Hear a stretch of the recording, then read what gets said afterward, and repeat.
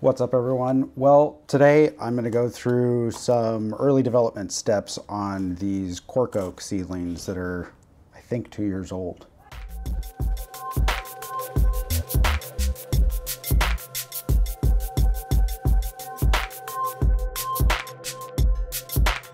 So I started a batch of these from some acorns that were picked in Davis by a friend of mine and uh, I think these were germinated over, you know, in early 2021, if I'm, no, early 2020, if I'm remembering correctly, and probably I am not.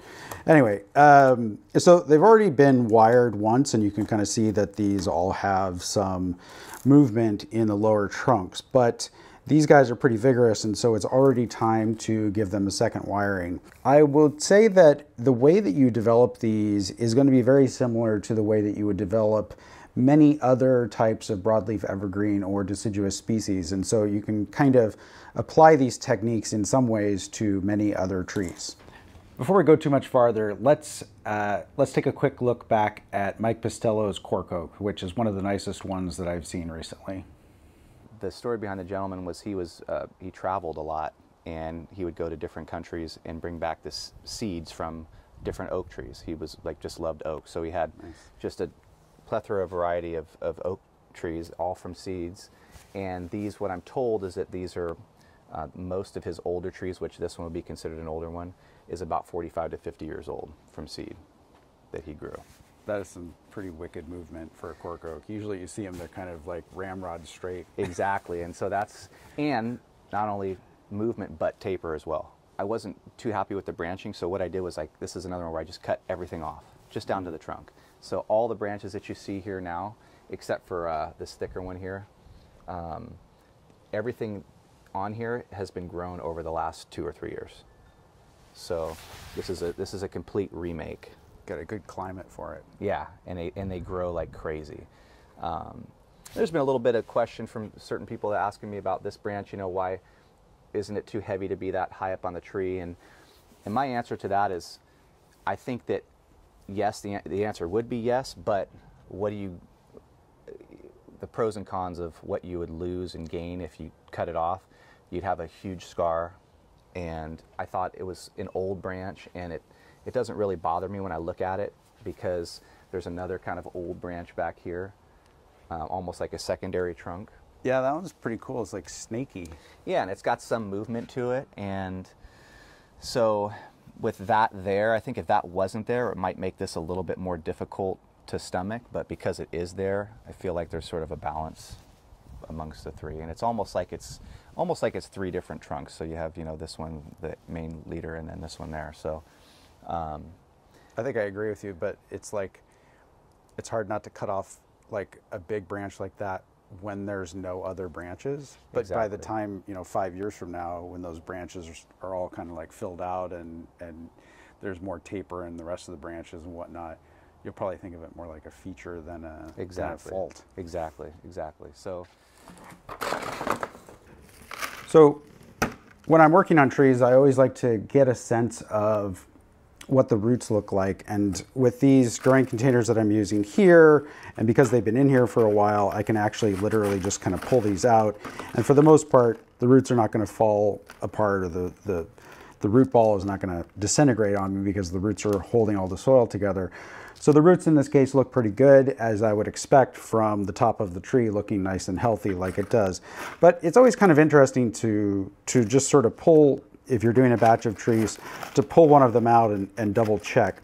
So the other thing I could check is the Nebari, but I am going to leave that until the next time that I repot these.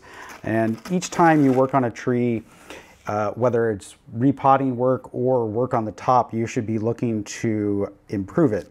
And so the main thing that I can do with these guys right now is just to add additional wire. Now, if you're not already familiar, uh, I'll just add a little bit of color here while I'm wiring this tree. Cork oaks are actually the source of corks that are used for wine bottles and cork that is used in cork flooring and other applications, a cork board, all those kinds of things. And what they do is they harvest the bark off of the tree without killing it. So the cork is a fire adaptation that helps insulate the tree. It's native to the Mediterranean, places like Spain. And so to protect itself from fire, it's evolved the cork covering to basically insulate the live cambium layer from being damaged uh, from wildfires. So in harvesting cork, people are making the trees more susceptible to fire, but it is a renewable resource in the sense that it only takes the tree a few years to create another layer of cork and then it can be reharvested. So the tree is not cut down or, or damaged. And you guys can correct me if I uh, if I'm incorrect, but I've actually seen it's kind of funny the the trees after the cork has been harvested look kind of like a, a shaved poodle because the the main trunk and the main branches have had all the cork removed, so they're actually smaller than some of the branches that are out further, which still have cork on them. Uh, all right, so I've put a number three aluminum wire onto the trunk here, and I've wired it just like this was the first time wiring. Now, multiple uh, rounds of wiring is sometimes necessary in early development because last time this tree was wired, it was probably only this big. And if I wait too long, I won't be able to get these sharp kinds of turns. So I wanted to get these wired while they were still small. Uh, but now that it's grown out more, I'm not really going to be bending this part. I'm just adding movement from, from here, from here upward. And so this is all just here for anchor purposes.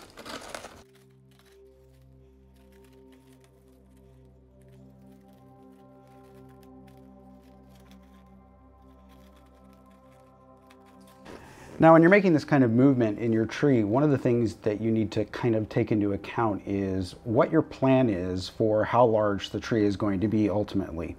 It's not that you can't change your mind later, but the tightness of the curves has an effect on the shape of the trunk, but it also has an effect on the overall movement and your overall composition. So say if I wanted to make a mame out of this and I was going to cut it down this low, I would have just then removed all of this, this movement that I've created just now with this wire. And that's not a problem if I come back and try that later. But if I've only got movement in this section and then the next you know, foot or whatever of the trunk is straight and I want to make a medium-sized tree out of this, I don't have the same kind of good options that I that I might otherwise have if I wired it like this. So the radius and, and sort of overall shape of the bends that you're creating has an impact on the size of the tree that it is more sort of inclined to become later. So keep in mind, like if you want to make a 12 inch tree, then your turns need to be tighter than if you want to make an 18 inch tall tree. And cork oaks, unlike some of the other species that I work with, are not as well adapted to making little teeny tiny trees. Obviously, like the leaves are a little bit bigger, they do reduce and become smaller, but it's not going to be nearly as easy to make a mame out of this, uh, something under three inches, as it is to make, say, like a 12 to 18 inch tall, tall tree. So keep in mind those scales and think about like, okay, if this is going to be an 18 inch tall tree, this is only about say seven or eight inches of height here. Maybe that's all just the first section of the trunk. And then the next section, so I lean it over like this, and then the next section starts to come back like this. Don't forget that you wanna have three-dimensional movement. You don't just want like a kind of flat S-curve so that if you turn it to the side, that you end up with something that is relatively straight. So if I turn this to the side, I see some wiggles going like this. The other thing in my compositions that I like to see for informal uprights at least is that I kind of like if you're looking at the tree from the side, I like the trunk to go slightly back and then come back forward at the top. But it depends on the style that you're creating with these guys. So don't try to plan too far ahead. You'll have multiple opportunities as you continue working with your plant to make decisions down the road. And if I try to design this, inevitably, it's not going to turn out the way that I design it, you know, all the way from bottom to top five or 10 years from now as the trunk gets bigger and so on. Now, this one is the same age, but the trunk is still significantly smaller than the one I was just working with. But the interesting thing is that it's actually sent out multiple sort of side shoots. So this was the one that was wired, and it looks like that's gotten a little bit weak. And now the tree's decided it's gonna try to to shoot off and, and leave behind this wired growth and just sort of start a new straighter leader. So that's pretty common with these guys. It's pretty common with a lot of trees, uh, like hawthorns, maples. If you bend something over, a lot of times the tree will just sprout out from the base of that bend and create a new vertical leader. So what I have a tendency to do rather than cut these off is to just wire those as well in order to create more movement in them. But it also gives you the opportunity to create a different type of taper. So let me get this wire on here and then we'll compare.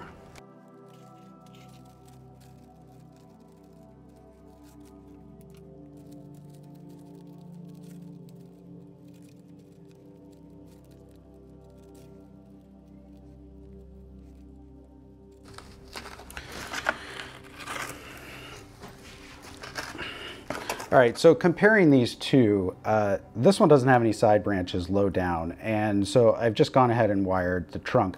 This is probably, you know, at this point anyway, and those things, kinds of things can change, maybe better suited to a, you know, medium-sized tree. Whereas, whereas this has the potential to be a smaller tree because I've got more branching and whatnot down here. Now, if I cut this back, I would end up with more branching lower down on this one as well.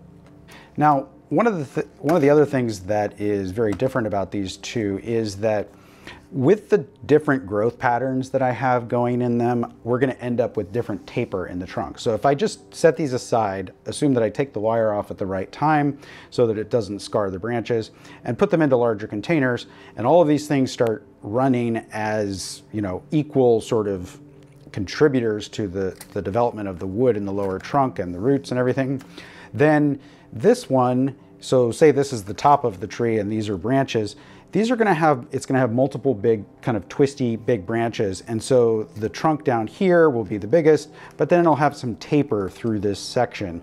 With this one, with a single sacrifice branch that's at the top, you're gonna get kind of a, like a, not very much taper in this section. Now the cork might help you in the case of a cork bark oak a little bit, but it's not gonna help you a lot. And that means that uh, without too much taper, you might then have to come back and cut it, like trunk chop it essentially, in order to start more taper.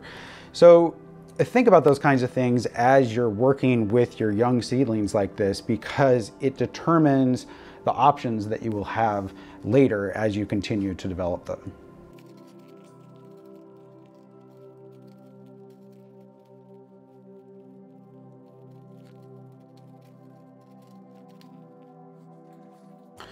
So I am kind of trying to twist this as I as I bend it, and I like to do that with trees. It usually creates more interest in the bark, which you can't see now, but as the tree continues to mature, you will see the the sort of things that are done to it now will come out as the tree continues to develop.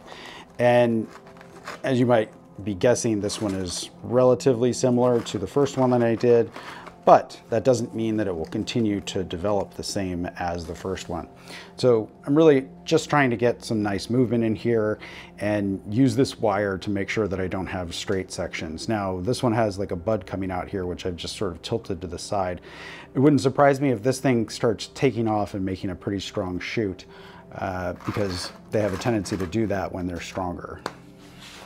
These gallons that I have are the same batch, are the same age as the trees that I have in the three inch containers. It's just that when I potted them up out of the common flats, I put some of them in three inch and some of them into gallons. All the ones that I put in gallons are already, even just, you know, less than a year later, already significantly bigger on average than the ones that are in the three inch containers. And they also seem to have more sort of multiple shoots there's more of them that look like this where there's, you know, five, six, seven shoots coming out of various places. So the part of this that was wired, if you can see it, is right here. And then this part is wired over and there's a barely a wire scar right there. So this is sort of like, you know, a couple months on or, or a year on, or depending on how fast you get them to grow from this kind of a situation. So it's, it sent out multiple shoots. And so you're starting to build that taper in the trunk and this part of the trunk tapers to this part of the trunk because this is coming in low. Ultimately, I think that'll probably just end up being a sacrifice branch. But it also depends on whether or not this part of the tree continues growing strongly. The largest shoot on here is actually coming from kind of the base of the wired section, and so I might want to go ahead and put a wire on that as well.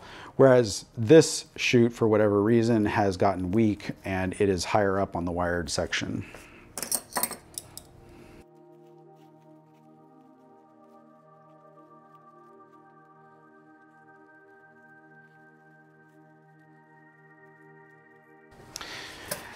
Now, in terms of timing of this work, it's late summer right now, and I tend to like to work on oaks when they're actively growing, and I work on deciduous oaks in the spring. I've it's always really tempting to work on deciduous oaks in the winter because there's no leaves on them and you think, oh, it's very easy to wire the branches.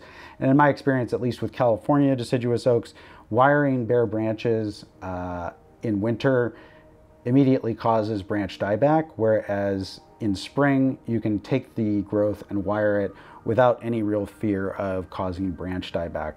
It's one of those really frustrating paradoxical things. So there's leaves all over the place. It's really hard to get in there with the wire, but that's what uh, leads to better results uh, uh from, from the wiring operation. With these guys, I would treat them pretty much the same. I think there's a little bit more leeway, but treating them, basically wiring them when they're actively growing rather than when they're kind of sitting there dormant during cooler periods like winter or even late fall and early spring before they start budding out. I would wait for them to be actively growing before you perform any significant wiring and bending operations, just to make sure that you don't um, cause dieback because the, the plant isn't immediately able to repair the damage that you do as a result of bending. All right, I hope that helps you guys with some early development on cork oaks. If you've been growing cork oaks and want to share your experience with everyone, put it in the comments below. Thanks everyone for watching. We'll see you next time.